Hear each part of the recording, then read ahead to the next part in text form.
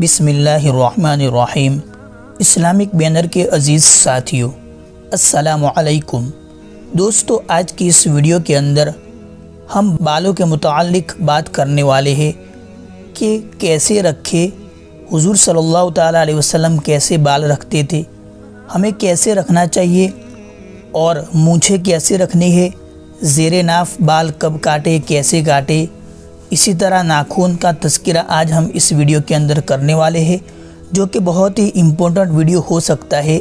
इसलिए आपसे बहुत ही अदब के साथ गुजारिश है कि वीडियो को पूरा देखिए और हर मुसलमान भाई तक इस वीडियो को पहुँचाने की फ़िक्र करे। तो चलिए शुरू करते हैं, लेकिन इससे पहले अगर आपने चैनल को अभी तक सब्सक्राइब नहीं किया तो ज़रूर कर ले। इस्लामिक बैनर नाम है और बेल के आइकन को भी प्रेस कर ले, ताकि हर नोटिफिकेशन आप तक पहुँचती रहे। तो चलिए शुरू करते हैं। नबी अकरम सल्लल्लाहु अलैहि वसल्लम के सर मुबारक के बालों की लंबाई कानों के दरमियान तक और दूसरी रिवायत के मुताबिक कानों तक और एक और रिवायत के मुताबिक कानों की लौ तक थी। उनके करीब तक होने की भी रिवायत है। तीन तरह हुजूर सल्लल्लाहु ताला वसल्लम बाल रखते थे। एक बिल्कुल कानों की लौ तक, एक इससे थोड़ा नीचे और एक इससे नीचे मतलब दोनों कंधों तक। ये तीन तरह के बाल हुजूर सल्लल्लाहु अलैहि वसल्लम रखा करते थे। पूरे सर पर बाल रखना कानों की लौ तक या उससे किसी कदर नीचे सुन्नत है और पूरा सर मुड़वा देना भी सुन्नत है या फिर बिल्कुल ही बाल न रखना ये भी सुन्नत है। और अगर कतरवाना चाहे तो पूरे सर के बाल सब तरफ़ से बराबर कतरवाना जायज़ है। लेकिन आगे की तरफ़ से बड़े रखना और गर्दन की तरफ़ से छोटे करवा देना जिसको अंग्रेज़ी बाल कहते हैं, ये जायज़ नहीं है। इसी तरह सर का कुछ हिस्सा मुड़वा देना और कुछ छोड़ देना भी जायज़ नहीं। अल्लाह ताला हर मुसलमान को इससे बचाए। आमीन। दाढ़ी को बढ़ाने और मूछों को कम करने के मुतालिक हदीसों में हुक्म आया है। दाढ़ी मुड़वाना या एक मुश्त, एक मुट्ठी से कम कतरवाना हराम है।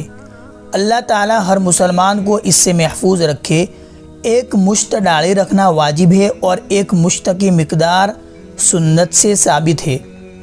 मूछों को कतरने में मुबालगा करना सुन्नत है। मतलब जितना हो सके कम से कम रखे। मतलब छोटी रखे। लंबी लंबी मूछें रखने पर हदीसों में सख्त वईद आई है। नाफ के नीचे के बाल, बगल और मूछों के बाल और नाखून वगैरह दूर करके साफ़ सुथरा रहना चाहिए। जितना हो सके इन बालों को नाफ के नीचे के बाल इसी तरह बगल के बाल नाखून वगैरह हो सके तो हफ़्ते में एक बार इनकी ज़रूर सफ़ाई कर लेनी चाहिए। अगर हफ़्ते में न हो, हो सके तो पंद्रह दिन में करें। अगर पंद्रह दिन में भी ना हो सके तो उसकी ज़्यादा से ज़्यादा मुद्दत मैक्सिमम उसका टाइम चालीस दिन है। अगर चालीस दिन गुजर गए और सफ़ाई नहीं की तो गुने गुनहगार होगा। बालों को धोना, तेल लगाना और कंगा करना भी सुन्नत है। लेकिन ज़रूरत न हो तो बीच में एक आध दिन छोड़ देना भी चाहिए। कंगा करे तो पहले दाएँ जानिब से राइट साइड से शुरू करे। कंगा करते हुए या हसब ज़रूरत, जब भी ज़रूरत पड़े आईना देखने की तो ये दुआ पड़े अल्लाहुम्म अंत हसन तखल की फ़हसन खलुकी। इसका तर्जुमा है कि ए अल्लाह, जैसे आपने मेरी सूरत अच्छी बनाई, मेरे अखलाक भी अच्छे कर दीजिए। तो दोस्तों, ये थे बालों के कुछ तरीके।